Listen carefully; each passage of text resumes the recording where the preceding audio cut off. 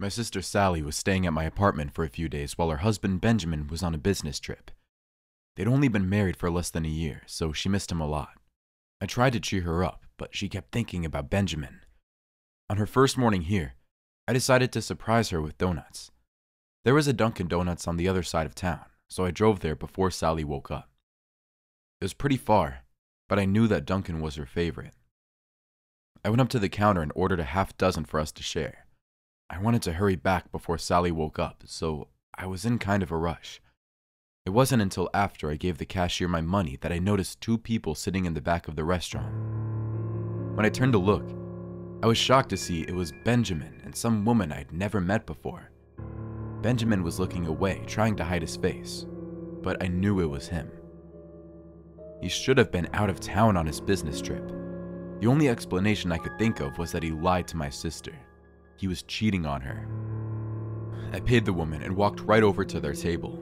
I asked Benjamin what he was doing there, and he said that he and his coworker had dropped in to pick up some donuts for his work conference. I knew that was a bold-faced lie. They only had two donuts, one each, and both were already half eaten. The woman he was with instantly turned red when she heard him lie to me. I guess that was the moment she realized that they've been caught. I was furious. Sally loved her husband more than anything, and knew that she wouldn't believe me if I told her the truth. So, pulled out my phone and snapped a photo of the two of them sitting together. I didn't say anything else. I turned around and walked back to the counter, where my box of donuts was waiting for me. I grabbed them and hurried out of the restaurant. Benjamin shouted, Wait! as I left, but I didn't stop. I got into my car and just sat there for a long moment, trying to collect my thoughts. I knew that as soon as I got back home, I'd have to break the news to Sally, but I really didn't want to do that. I turned on the ignition and drove out of the parking lot. Once I got onto the street, I noticed that Benjamin's car was following me. He must have rushed out of the restaurant without me noticing. The roads were pretty empty at this time of morning, and his beat up Nissan was the only other car on the road. He wasn't even trying to hide the fact that he was following me. He was speeding, and for a second, it felt like he was going to run me off the road. I sped up, and so did he. We were both driving really fast. He started honking and flashing his lights. He wanted me to pull over. I didn't know Benjamin that well, but he always seemed like a calm, slightly boring guy. I'd never seen this side of him before. I'd also never been involved in a car chase before, and I was terrified. I felt my whole body jerk forward as he slammed into the back of my car. I lost control and skidded off the road. In less than a second, I crashed into a tree. It happened so fast, I didn't feel any pain, but I guess I blacked out. When I came to, I was stuck behind an airbag. I couldn't see anything, and I felt my face throb. My nose had been broken on impact. I heard voices at my side, and I knew that it was Benjamin and that woman. Is she dead? I heard Benjamin say, I sure hope so. I felt his hand reach into my pocket and pull out my phone. He was deleting the photo that I'd taken. Then I heard a crunch and could only assume that he'd taken my phone and smashed it. What if she's still alive? Her voice sounded much more concerned than his. I couldn't tell if she was upset about what they'd done or just about the possibility of getting caught. Then, I heard him comfort her and say that he'd handle the situation. After that, I felt Benjamin's hands grab my arm as he tried to pull me out of the wreckage. I was aching all over, and I knew I didn't have the strength to fight him off. The only thing I could do was pretend to be dead as he pulled me out of the wreckage and then try to run off before he could kill me. I felt excruciating pain all through my body as he pulled me out and threw me onto the ground. It took all my mental strength to keep my eyes closed and pretend that I was already dead. I laid on the ground completely motionless as Benjamin told the woman that he'd be right back. He needed to get a rock. Now, I could hear the woman starting to cry. She was muttering something to herself, but I couldn't make out the words. I knew that this was my only chance to escape. Moving as fast as I could, I pushed myself off the ground and started limping back toward the road. Thankfully, the woman didn't try to grab me, but she screamed and got Benjamin's attention. I looked over my shoulder and saw him racing toward me as I sped up. There was a pretty steep incline along the edge of the road, and it was hard for me to keep going. One of my ankles was probably broken. Just as I reached the asphalt, Benjamin grabbed me by the shoulders and pulled me back. I toppled down the incline and landed painfully on my broken ankle. I was in so much pain I could barely breathe. Benjamin stood over me and asked, Why do you have to take that photo? I tried to beg him to let me go, but no words came out. I tasted blood filling my mouth. Don't move, he said. It'll be easier that way. I watched in horror as he picked up a rock and raised it over his head. He was going to drop it right on my face. It was huge. It would have killed me instantly. I lost all hope. I knew that these were my last moments on Earth.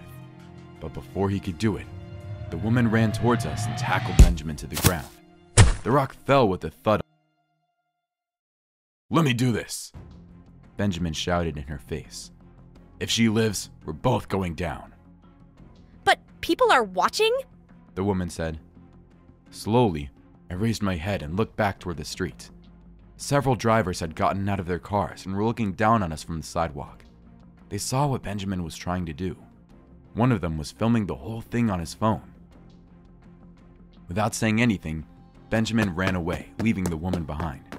The woman slowly raised both her hands, as if she was about to be arrested. I don't know what happened after that because I passed out from the pain. I woke up in the hospital. I must have been on some pretty strong pain medication because I was tingly all over. Sally sat next to my bed, but when she saw that I was awake, she jumped up. Are you okay? I think so. Sally told me that Benjamin was still missing. The police were looking for him, and it was only a matter of time before he was caught.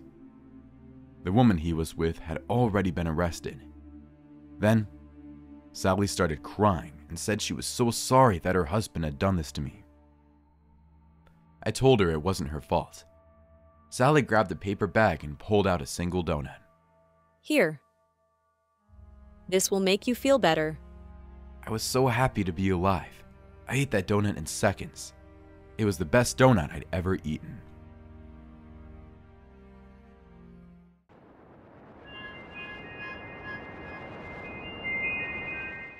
I just started my new job as a secretary for a mid sized insurance company, and it wasn't going well. On my first day, I printed out the wrong packet for my boss Jonah's presentation, and he yelled at me in front of everyone. He said that if I made another mistake, I'd be fired. My coworkers told me that he usually wasn't this aggressive. Something must have happened in his personal life. I didn't care what his reason was, though. I didn't want to get on his bad side. For the rest of the week, Jonah watched me like a hawk. It was like he was waiting for me to screw up again. I needed to do something to get on his good side. I noticed that he often picked up Dunkin' Donuts for breakfast, so I decided that I'd go and pick up a dozen donuts for the office as a surprise. So, Friday morning, I got up early and headed to Dunkin' around 6:30. They had just opened and everything was really fresh. I ordered a dozen, making sure I got a couple maple bars. Those are the ones that Jonah always ordered. The cashier was a young girl who seemed really nice. Her name tag said Hannah. She packed everything up and we talked for a little bit. I told her how stressed I was at my new job, and she commiserated with me. She talked about how she just got out of a pretty bad relationship with a married man, but her life was much better now. As she handed me the order, she noticed the work uniform I was wearing, and her face instantly dropped. That's where you work? It seemed like she knew something that I didn't. But when I asked her what was wrong, she handed me my donuts and told me not to worry. As I walked out of the restaurant, I saw Jonah pulling into the parking lot. I didn't want to ruin the surprise, so I ducked behind a car before he could see me. I watched him walk inside. Then I got in my car and drove straight to the office. Jonah ended up coming in an hour late. By then, most of the donuts had already been eaten, but I made sure to save one of the maple bars just in case. For some reason, he seemed completely different. He was smiling and whistling to himself, like a huge weight had been lifted off his shoulders. The rest of the workday was pretty uneventful. My donut surprise didn't seem to impress Jonah at all, but he was still in a much better mood than before. He even thanked me when I gave him his mail. That night, I was watching the local news when I saw a report on a murder victim that had been found earlier in the day. They showed a picture of the girl, and it took me a second to recognize that it was Hannah, the girl from the donut shop. They said that her body had been found in a dumpster behind the restaurant. She had been murdered that morning, and the police had no leads. Whoever killed her had shut off the restaurant's security cameras. They were asking the public for any witnesses to come forward. I felt absolutely terrible. I might have been one of the last people to see her alive. I remember that Jonah was there too. Maybe he'd seen something. I thought about telling him that night, but I decided to wait until the morning. When I got to the office the next day, I could see Jonah was just as cheerful as he was the day before. It seemed like a good time to talk to him about Hannah, to see if he had any information that might be able to help the police. It was the two of us alone in his office, I asked him if he saw the news, and he said no. Then I admitted that I had seen him entering Dunkin' Donuts right after me. I asked him if he remembered the woman who was working there. His expression instantly went blank. He knew something about her murder. I tried to ask him what he knew, but he refused to tell me. Instead, he asked if I had talked to police yet. I shook my head no. I didn't have any specific information to give them but maybe I had seen something important without realizing it. Jonah suggested that we both go to the police station together. I was glad that he seemed to be taking it as seriously as I did. He quickly got out of his chair and marched towards the elevators. I hurried to catch up. He said that we could both take our lunch early and we'd be back within the hour. He still wouldn't say what he knew about Hannah, though. We rode the elevator for a couple floors before I realized that Jonah had pushed the wrong button. We weren't heading to the ground floor. We were headed toward the roof. I asked him what was going on, and he said he just had a short errand to do first. He didn't say anything else. When the elevator door opened, he pulled me out onto the roof before I could push him away. By this point, I could see the insanity in his eyes. He was unhinged.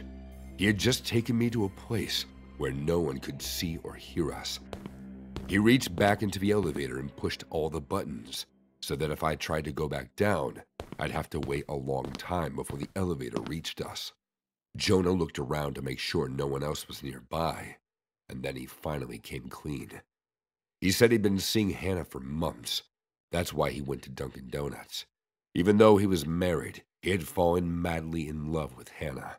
When she rejected him, he couldn't stand it, so he murdered her and disposed of the body. I was disgusted. What he was saying and how he was saying it. He was smiling. He was proud of himself. And as he talked, he slowly stepped closer to me. I had to back away from him. What are you doing? I asked. He got even closer, his face inches from mine. There weren't supposed to be any witnesses. He growled at me. You killed her? I asked. He didn't answer, but his dark smile told me everything. He looked proud, triumphant, then his expression dropped. I'm so sorry. You were actually one of our best employees. He reached forward, ready to push me off the building. I wish I'd gotten to know you better, he said.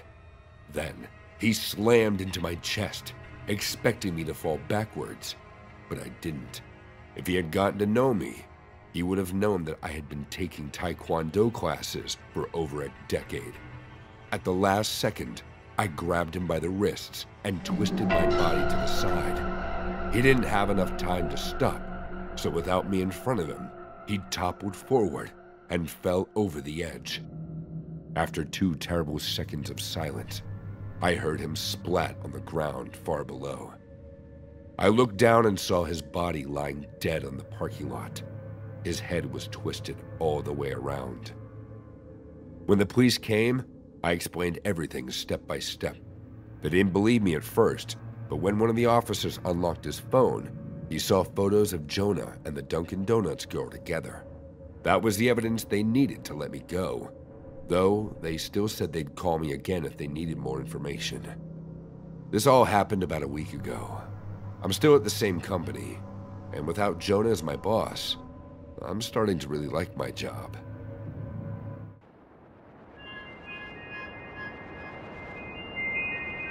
People love to preach to me about how much money I could save if I stopped buying coffee so regularly. I tell them, look, it's in the budget and I'm lazy, so to Dunkin' Donuts I will go. And I'm just saying that Dunkin' is relatively cheap compared to their competitors. All the workers at my local Dunkin' know my order. There are still times when they get my drink wrong, but mistakes happen. Especially when you're in that drive through as much as me, there's bound to be a mess up once in a while. You could think getting the wrong order is the worst thing that could happen to you in the drive through, but it's not like that. A couple of weeks ago, I was on my way to work and stopped to get a coffee. The line was unusually long that day. Cars snaked around the entire building and stretched through the parking lot. There's only one space for one car before the line started to peek into the main road. Looking at the line, I knew it would make me late to work. It wouldn't have been my first time late because I was getting coffee. Sometimes I sneak in and no one notices. But this time, since the line was so long, I texted my manager that I was running late. I told her I would make it up to her and the team by bringing all of us donuts. She said, "Okay, but don't be too late. We have a meeting at 9:30." I pulled into the line and got as close to the car in front of me as possible. My small sedan fit perfectly in the amount of space left in the parking lot. I was surprised a car tried to pull up behind me because they would be sticking out into traffic. It was a massive black truck, and instead of four wheels, it had six because it had double back wheels. He pulled up behind me and laid on his horn. I looked in my rearview mirror and he motioned for me to move up. I turned around and tried to mouth politely, I can't, and shrugged at him. In response, he laid on his horn for longer. Still turned around and looking at him, I was in disbelief. He revved his engines and made the same hand motion, instructing me to move forward. I shook my head at him and turned forward. The line was bound to start moving here soon. The man continued to honk and rev his engine. What was he going to do? Run me over in the Dunkin' Donuts parking lot? He saw that there was no room for his car, but he still chose to get in line. It's not my fault he's sticking out into traffic. Finally, the line moved forward, and all the cars pulled forward, leaving enough room for this man to pull into the parking lot. You'd think this would be the end of his antics, but no. The guy continued to rev his engines behind me and honking. He started to yell at me, but I couldn't understand what he was saying. It became so obnoxious I flipped him off. He really didn't like that and revved up his engine in response. I wanted to tell him to chill out. The line kept moving. The guy kept egging me on. I was confused about what he thought he was accomplishing.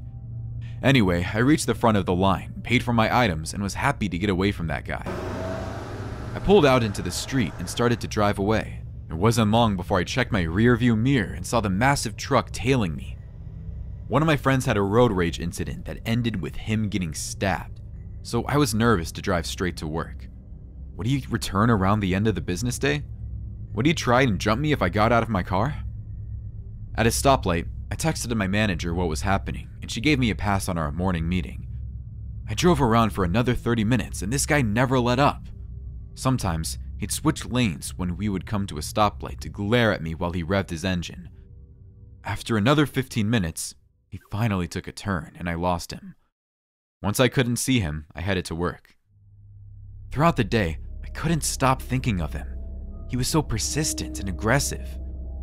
I kept going over how it wasn't my fault there wasn't room in the parking lot for his car. I was pulled forward as far as possible, but he still got so angry. When I went to leave for the day, I heard the rev of an engine and jumped. I scanned the parking lot for the back truck, but it turned out to be my coworker starting his car. The entire ride home, I kept checking the rearview mirror for the truck. One car seemed to be following me, but he took a turn at some point, so I assumed I was just shaken up from the morning. The rest of my day was normal. I went along like I usually do. I made dinner, watched some TV, and then went to bed. Around 2 a.m., I woke up to the sound of a revving engine. I got out of bed to look out my window and the truck was there, parked in front of my home. Was flashing his brights and revving his engine. Not sure of what to do, I called the police. They said, Since he hasn't done anything directly to you, there's not much we can do, but we will send some guys there to get him off your back. When the police rolled up, the guy sped off. I went out and told the police what happened, but again, they told me there wasn't much they could do unless a crime had been committed. I thought that would be the last I saw of him, but it wasn't. He returned the next three nights just revving his engines and flashing his brights. I called the police each night and was told the same thing. He stayed out there for hours. I had no idea how none of my neighbors called to file a complaint. After the fifth night, I decided I had enough. It seemed like all he wanted to do was scare me, but he wouldn't do anything to harm me. Like he was all talk and no walk. I called the police to see if they could send someone to shoo him off, and they said yes. Since I knew the police were coming, I went outside to confront him. I walked onto my driveway and yelled, What is your problem? He stopped revving his engine. He opened his door and stepped out. He was a big, bald man wearing a thick leather jacket. In his right hand, he held a baseball bat. You're everything I hate about women. He sneered and started towards me. He called me a bitch and yelled other at me. I retreated back into my house immediately when I saw the baseball bat. He trudged up to my front door and started pounding on it. I was scared he was going to break it down. It was stupid of me to think confronting him was a good idea. He went to the window beside the front door and used the bat to shatter it. I ran to the kitchen to grab a knife. I kept telling myself the police would be here any second. He slowly stomped through the house. I sat on the floor of the kitchen holding the biggest knife I had, praying the police would show up. As he was about to turn the corner into my kitchen, red and blue flashing lights filled my home. I thought I was in the clear, but this made the man speed up. He whipped around the corner into the kitchen, grabbed me by my hair, and lifted me from the floor, causing me to drop the knife. You annoying little he growled. The police ran in, armed with guns. They demanded he let me go. Since all he had was a baseball bat, he listened. They put him in handcuffs and took him away. The cops gave me his information so I could get a restraining order just in case he ever tried anything again. They told me the road rage incidents can get out of hand, but this was the worst they've ever seen. I never saw that black truck again, but I pray for the next person who flips him off.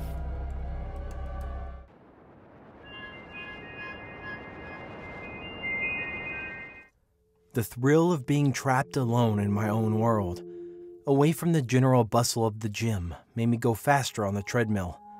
I had my eyes trailing the city outside with the full length glass that showed a whole city sprawled from the base of the gym to the far ends of the ocean shores. What my eyes saw stimulated my senses. The music in my head proved useful company. Jarring reverberations that enlivened every muscle in my body to bursting life. I could deal with the agitation. It gave me fuel, cozied me away from all my troubles. Every pore of my body burst with sweat, sweet juices from running so fast and enduring such an intense routine. It was not my first time, and somewhere in the back of my head I knew it would not be my last. Four, three, two, I mouthed as I counted down to the end of my intense lap, and at the end of my countdown, I tapped on the screen of the machine. The sliding floors of the machine slowed down, and so did my pace. I caught my breath and exhaled powerfully when I decelerated to a manageable jog. I had been so focused on my work that it only took me slowing down to notice from the corner of my eyes that someone had been staring at me from quite a distance. Instinctively, I turned in his direction. There he was, a full grown man like a child, ginger haired and chubby with a tall plastic cup of soda in his hand. He had on a gray shirt with a sweaty patch around the neck and some of the sweat under both of his arms. His eyes were heavy and they stared from under even heavier brows. Naked vulnerability in the middle of the gym did not deter his attention from me, and I felt a sickly feeling running through me from being under the crooked, uncontrollable gaze of this man. I was startled by the audacity of the episode, and quickly I turned away. Weirdo, I muttered when I stepped off the platform of the treadmill. I took a few steps towards the more populated area of the dumbbells. I sighted the 8 kilogram bars and I sauntered towards it after brief smiles at the more familiar faces in the gym. I sat on the bench with both the dumbbells on each side of me and straightened out my back. Naturally, my eyes went up again and again. There he was, now without the plastic cup of drink, just staring at me. My stomach sank and I immediately had an awry feeling about him. I bent over to lift, but sheer frustration wore my arms out. Fuck, I cussed, knowing I was done for the day because a man who did not know his place in the gym or around it decided to ruin it for me. I thought of walking up to him immediately and shoving my fingers in his face to inquire why he stared at me in such a way, but that was a bad idea. It was a terrible thing to have a creep on one's tail. It was worse to have a creep with a motive.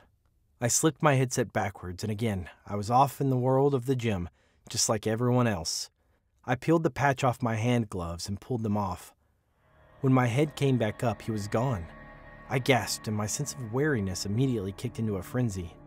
My eyes roamed around the gym briefly, and not a sign of him was found anywhere around the wide expanse of the gym. My heart kicked back into the same rhythm that I had during my run. The problem was that I wasn't running, so it was all a nasty sensation in my chest.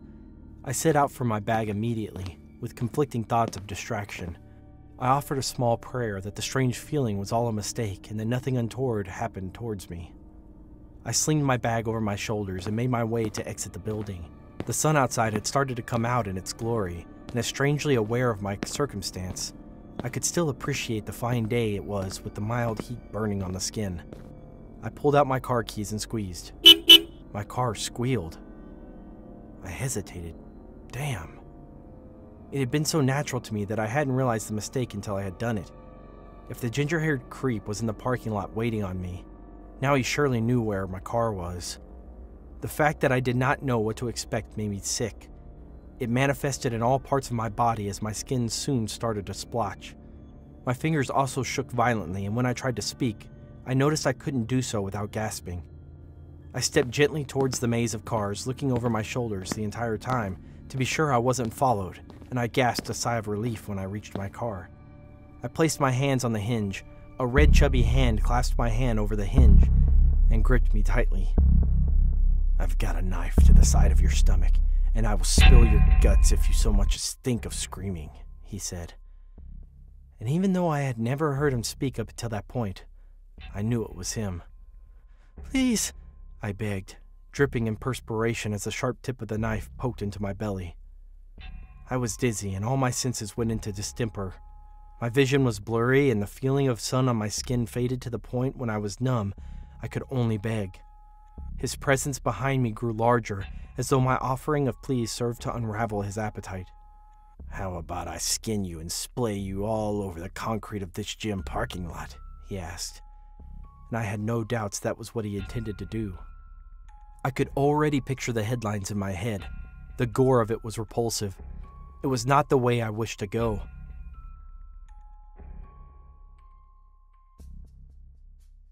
I stifled my scream. I'm gonna kill you, stupid piece of shit. He spoke with venom. He flicked his arm, and just as I felt his arm move around me with the knife, which he intended to poke first and then drag along, he suddenly stopped. I heard another gun draw. Your hands where I can see them, a strange female voice said seemingly out of the blue.